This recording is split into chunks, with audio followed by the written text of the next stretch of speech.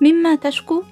أنا تعبان عندي صداع شديد وأكح في الليل منذ متى؟ منذ يومين هل عندك حمى؟ نعم أصبت بالحمى وكيف الشهية؟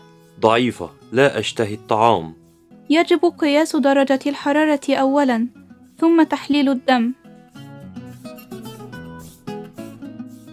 هل مرضي شديد؟ لا أمر بسيط أنت مزكوم فقط سأكتب لك حقن البنسلين. لا يا طبيب عندي حساسية ضد البنسلين.